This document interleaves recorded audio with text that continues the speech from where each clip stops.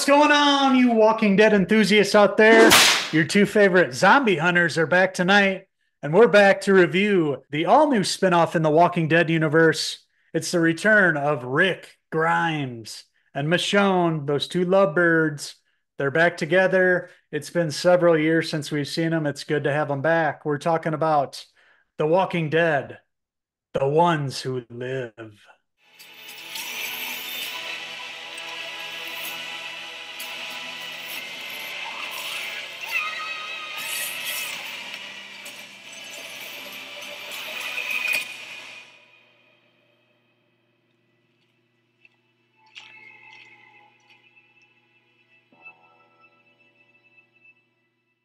That's right. Those two lovebirds are finally back. Our favorite power couple from The Walking Dead have their new spin-off show, The Ones Who Live, and the return of Rick Grimes. Of course, you know, at the end, the series finale, we saw what happened to Rick. Has to do with throwing a message in a bottle into a river. Really sets up the this, you know, series first episode. We get to see Rick beaten down. You know, he's trying to escape over and over again. He keeps getting captured and he's down in his luck and really sets up the whole episode and the, the vibe they're going for. Yeah, he's put through the ringer in this episode. You see him at the lowest uh, he's ever been. I mean, you feel for the guy. He just multiple times he's trying to escape. He's been taken by the CRM, uh, this big military conglomerate, basically that's uh, captured him, and they use the people that they capture to help them take out the zombies in front of them. Um, it's you know basically in the outskirts of Philadelphia now, the Civic Republic, as it's being called, and you know, he meets up with this lieutenant uh, character who sees a lot in Rick. He can see the damage, but he also sees the promise in Rick if he can just get Rick to stop trying to escape and to accept, you know, this is his new life and he can thrive here in this new life if he just accept that. But we see Rick, at, you know, at this point would do anything to get back to his family, Judith and Michonne. You know, he's living with the thoughts of having to you know, be without them for all these years. It's been five years since he's seen them and he'd do anything for them. But every time he tries to get close, he's pulled back in here. And, you know, finally, at about the midpoint in this episode, he kind of accepts the fate that he's not going to see him anymore.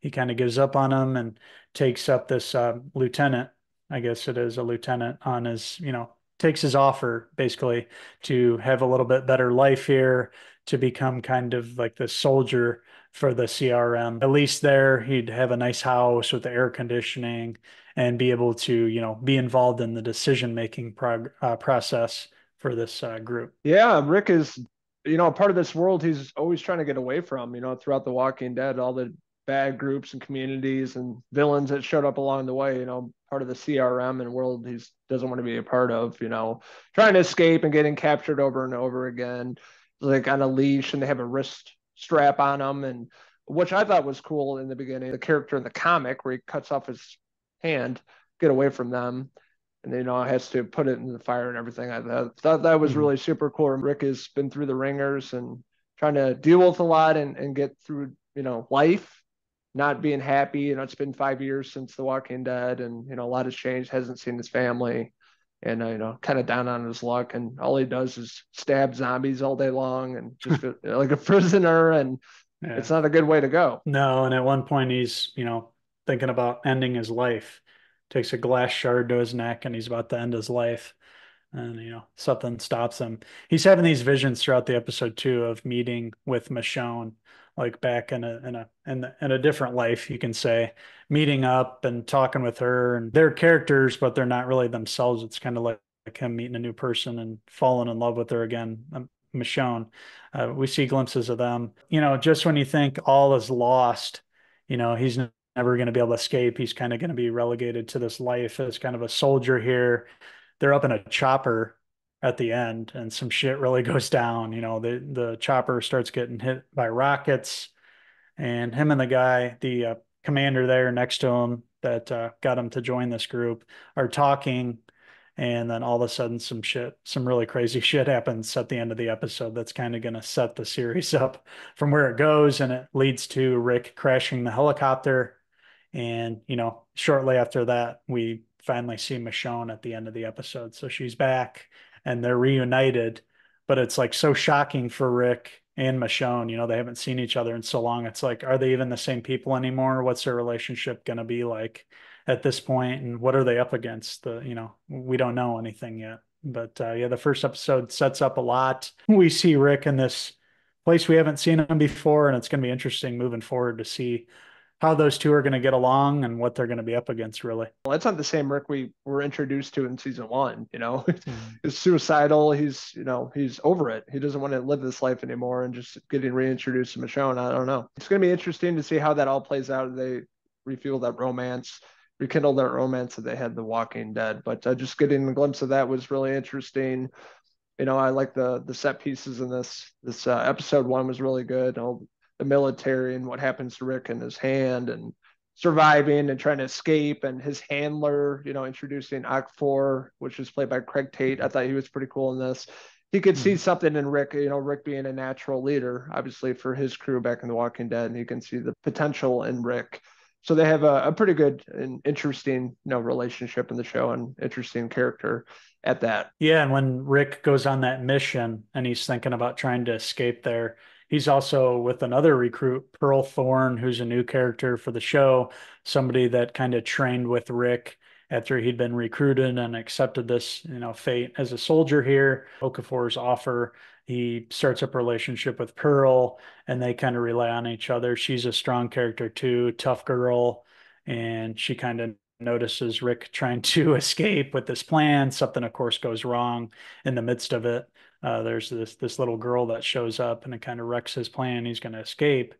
Um, so yeah, there's other characters too involved, and it's going to be some new characters. Uh, we didn't see Pearl, um, you know, after what happened in the helicopter, but I'm sure she's going to still be out there in this world and probably going to eventually meet back up with Rick. It'll be interesting to see like what happens now and if Rick's to like be able to escape fully now that he's after he's been you know shot down out of the helicopter if the if the military group's going to find him again or if he's going to kind of go rogue again with Michonne uh, which I'm assuming he will. I mean, it's Michonne, so it's his love. So, yeah, a lot of uh, interesting setups here.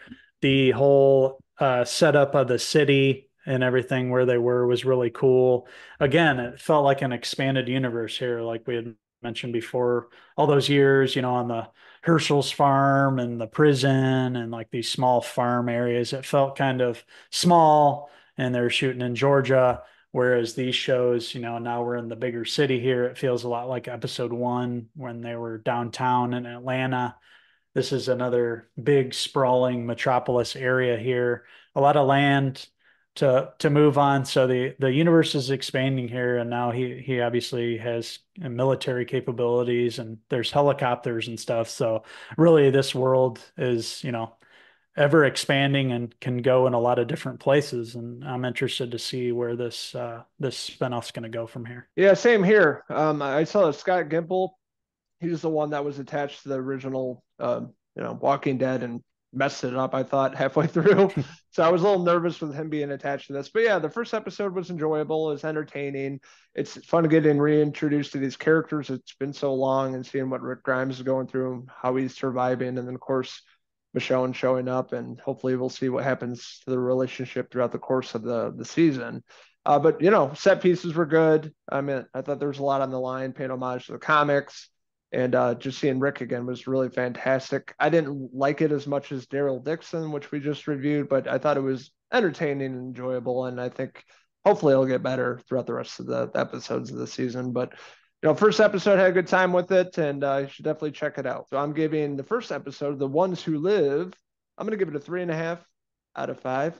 Rick Grimes hair pieces like you took the score right from me. I felt the same way as you did. Wasn't quite as strong as that series, uh, but for an opening episode, especially how it ended, I think if they're able to continue from there, this uh, series has a lot of potential moving forward. So, no problem. But with that being said, yeah, I had a pretty enjoyable time with the episodes. Great seeing um, Andrew Lincoln and Michonne, uh, Rick Grimes and Michonne back on the screen, having them back. They're both awesome in this universe, the OGs, and they're back now.